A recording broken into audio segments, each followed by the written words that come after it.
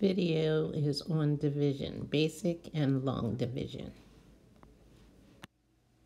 Division is taking a total number of a certain quantity and evenly distributing it to a number of groups. In technical terms, you are taking the dividend divided by the divisor and your result will be the quotient. So let's take a look at this equation. 15 divided by 5 equals 3. 15 represents my total quantity. And I want to divide it amongst five groups. So each group would get three pieces of candy if that's what my total was. Let's take a look at long division. In this case, my divisor would be 4, which is on the outside of the division symbol. Underneath is my dividend, which is 928. And my quotient would be the resulting answer. So let's solve. 4 goes into 9 two times. So then I multiply 4 times 2, which equals 8. I put my 8 under the 9, and I subtract it. Then I get 1.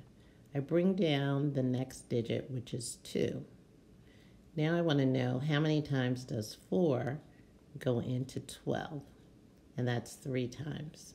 Again, I multiply my 4 times my 3, and I get 12 and I subtract that. 12 minus 12 is 0. I bring down my last digit, which is 8. 8 goes into, 4 goes into 8 two times. And 4 times 2 equals 8, which is 0. I have no more digits to bring down, so my quotient or my result is four is 232. So again, I'm taking my total quantity of 928 and I divide it into four groups evenly. And each group would get 232. Sometimes division is going to leave a remainder. So let's look at this problem. 5 into 637. 5 goes into 6 one time. We multiply 5 times 1.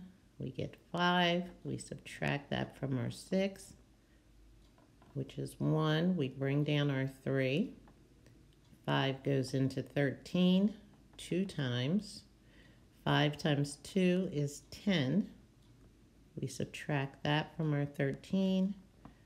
We get 3. We bring down our 7. 5 goes into 37 7 times.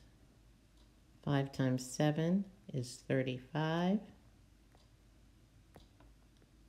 And we subtract that and we have 2. There's nothing else to bring down. So our remainder is 2. So we can write that as R2.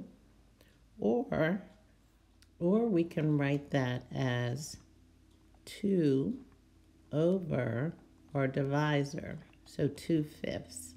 So the answer is 127 and 2 fifths. Again, our total number quantity of 637 can be evenly divided into the five groups, and each group would have 127 and 2 fifths. In the comments below, let me know if there are any math topics you'd like me to cover. Thanks for watching. Please subscribe, like, and share, and we'll see you next time.